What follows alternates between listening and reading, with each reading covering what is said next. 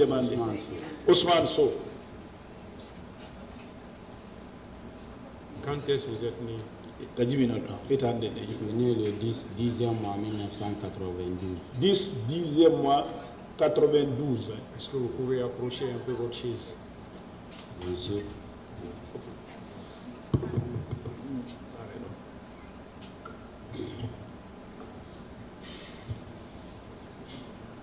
Vous avez dit quand? Je suis né le 10, 10. 10e mois 1992 Oh, honto à Conakry. Conakry quelle est votre profession ɗo métier liggueɗe Bon, J'étais élève avant, mais actuellement je suis commerçant. Je me débrouille par la commerce d'abord. Où vous êtes domicilié? Honto Alhamdulillah. Et à l'époque,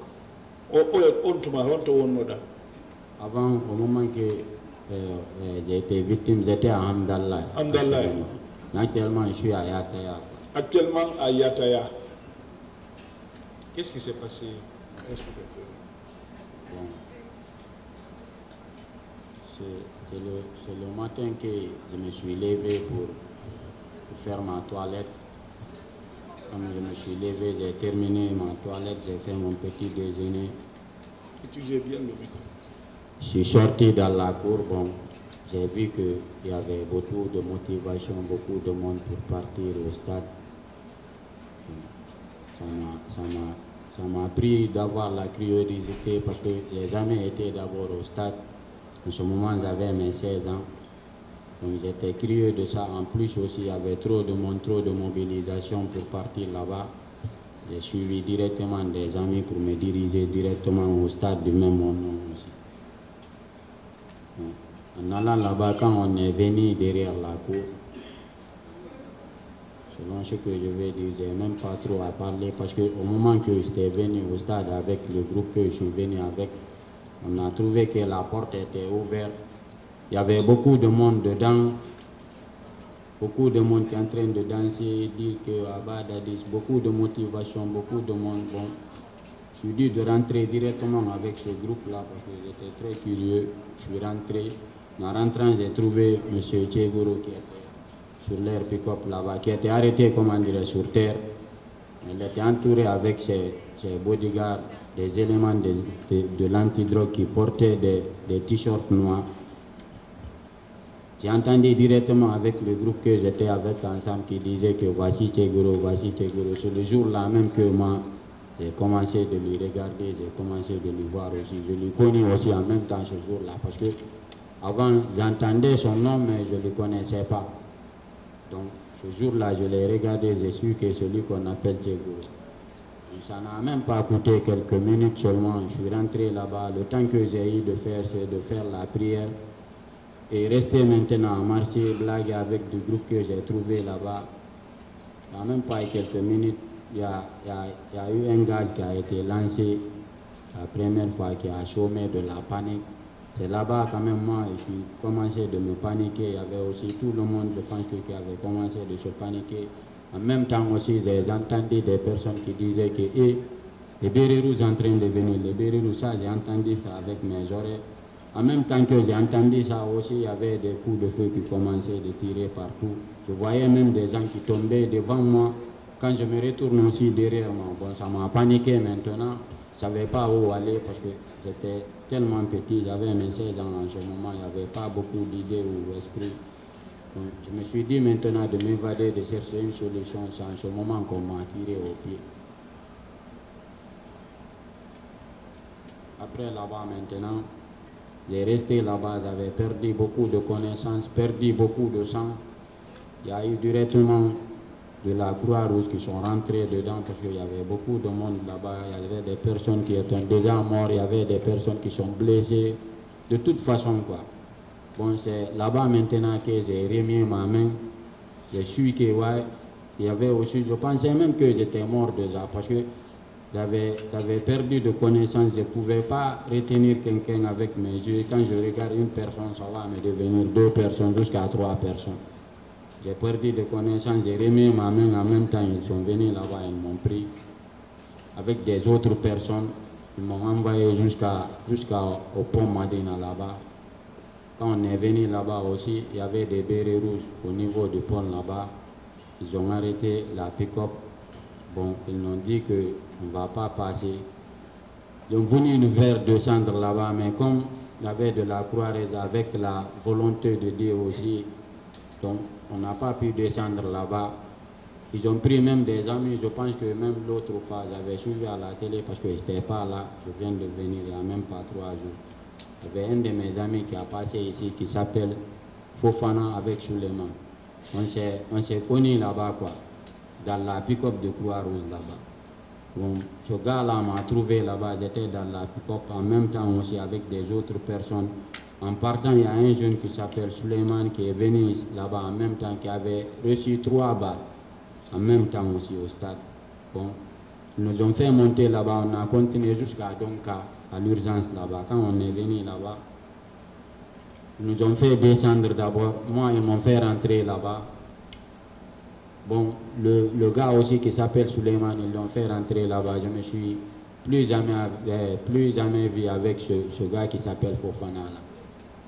C'est ici qu'on a commencé de se retrouver aussi. Aujourd'hui même que je l'ai vu ici, je vois.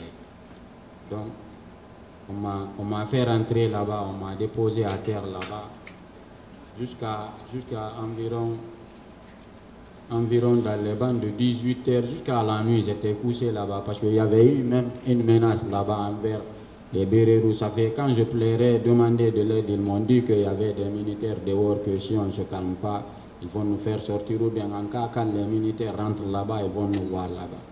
Je ne savais pas maintenant qu'est-ce que je vais faire. Seulement, je, je, pouvais me remettre à Dieu parce que c'est lui qui peut faire tout, c'est ce qu'il veut, c'est ça qui va se faire. Et rester là-bas, j'ai saigné du sang jusqu'à la nuit. Il y, a, il y a un médecin là-bas qui m'a demandé que si j'avais un numéro de ma famille que je retiens en tête. Je lui ai dit oui, je lui ai passé le numéro de ma grande sœur qui est à l'AB actuellement. Bon, on a appelé ma grande sœur directement. On lui a dit que j'ai été tiré par une balle. Donc, elle a tombé crise là-bas parce que quand, on entend que quelqu'un a été tiré par une balle, soit disant que selon ce que moi je vois à la télé, souvent dans les films, ça fait, tu ne peux pas survivre, ce que vous voyez? Bon, la famille s'est mise à pleurer maintenant. Ils ont réappelé aussi ce même numéro du docteur là-bas. Ils ont tenté la chance de venir, mais ils n'ont pas pu venir parce qu'ils m'ont déjà dit là-bas quand j'étais à l'hôpital qu'il y avait beaucoup, y avait, il y avait trop de, de, verbalisation en bord de la route dehors, donc ils n'ont pas eu la route de venir à Donka là-bas. Rester là-bas aussi en même temps jusqu'à le deuxième jour, c'est le matin maintenant que ma famille est venue dans les bandes de 6 heures comme ça. En même temps, je saignais du sang là-bas, on m'a envoyé au, au deuxième bâtiment, au troisième bâtiment, donc à ancien bâtiment, à ma, à ma gauche. Il y avait des femmes malades là-bas, beaucoup de malades que j'ai trouvés là-bas, des personnes qui n'étaient pas des victimes, mais qui se couchaient là-bas, quoi. Bon, je suis venu là-bas, on m'a fait monter là-bas, ils m'ont laissé là-bas aussi, ils ont pris des cartons, mettre au niveau de mon pied, pour que, parce que j'avais eu une fracture ouverte, pour que le pied ne se remue pas. Quand ils m'ont amené au deuxième balcon là-bas, euh, troisième dalle, ils m'ont laissé là-bas. La famille maintenant est venue dans les bandes de 6 heures maintenant, s'est préoccupée de moi. On a resté là-bas. Ce deuxième jour-là aussi, je n'avais pas reçu mes soins. C'est le troisième jour qu'on a appelé mon père parce qu'il était au village. Il a quitté là-bas, il est revenu. Le troisième jour, le matin maintenant, il s'est communiqué avec des docteurs là-bas. Il a payé peu d'argent. On m'a fait rentrer directement dans la bloc, on m'a opéré. En même temps aussi, quand on m'a opéré, je n'ai même pas pu dormir. Seulement, on, on m'a donné de l'injection pour que je ne sente pas. Mais je n'ai même pas pu dormir parce que j'avais perdu beaucoup de sang. J'avais même la balle de mes preuves aussi. J'ai gardé ça à l'hôpital là-bas. Ça a duré là-bas. Peut-être que quelqu'un d'autre a volé parce que je détenais un plastique là où mes médicaments, selon ce que je dois prendre pendant le panchement, après trois jours, trois jours, j'étais avec moi là-bas. Quelqu'un est venu prendre ça là-bas. Et resté là-bas maximum trois mois. Ça a trouvé que maintenant, les difficultés ont commencé envers la famille, l'argent est terminé maintenant. Bon, il y avait même des personnes qui ont dit maintenant à l'hôpital là-bas, je, peux dire que, eh, que l'âme de M. Diakité repose en paix. C'est un directeur de Donka qui m'a beaucoup soutenu au moment difficile aussi. Je voyais. Donc, il nous a appelé, il nous a dit que vraiment que eh, les médicaments que nous on a entendu que les, comment dirais les délégations ont envoyé, c'est fini maintenant. C'est si on a l'argent maintenant, on va payer pour nous ou bien le prix du lit aussi là où tu vas te coucher. Comme il n'y avait pas beaucoup de monde, on a préféré de quitter à l'hôpital et repartir aussi à la maison. C'est là-bas, petit à petit, que j'ai fait mes traitements, mais quand même, j'ai resté pendant 7 ans, 8 ans rond, sans marcher avec mon pied, que je me promenais avec des bois, que si même monsieur capitaine Moussa Dadis Kamara, il est là, s'il se souvient bien aussi, je m'excuse de parler son nom de cette façon ici. Mais c'est moi, le jeune qui l'a tendu la main à Donka pour me saluer. J'ai refusé, peut-être tout le monde a vu ça dans la télé le jour que le capitaine Moussa Dadis est rentré là-bas, il est parti là-bas. C'est moi qui l'ai attendu la main, j'ai refusé de lui saluer. En même temps aussi, voulant poser sa main sur mon front, j'ai refoulé sa main aussi. Voyez. Il est venu nous rendre visite, il est parti. Ce jour-là aussi, ma famille a commencé de pleurer qu'il y a eu des bérets rouges qui sont venus, qui veulent nous terminer là-bas. Bon, j'ai eu tellement peur parce qu'en cas de cas, je ne pouvais rien faire maintenant, sauf que je me remets à Dieu parce que toute chose c'est à lui qu'on se donne. Bon, j'ai resté là-bas, avec de la peur aussi. Quand j'ai fait les trois mois là-bas, ils m'ont fait quitter là-bas pour me ramener à la maison pour que je continue de faire mes soins là-bas.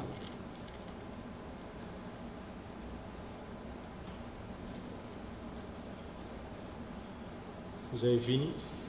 Oui, j'ai fini. Est-ce que vous avez été entendu par les juges d'instruction Non, je n'ai pas été parce que je n'étais pas là.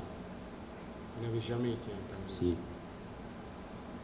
Si, c'est-à-dire, je ne comprends pas. Vous dites Vous n'avez jamais été entendu par les juges d'instruction? Non.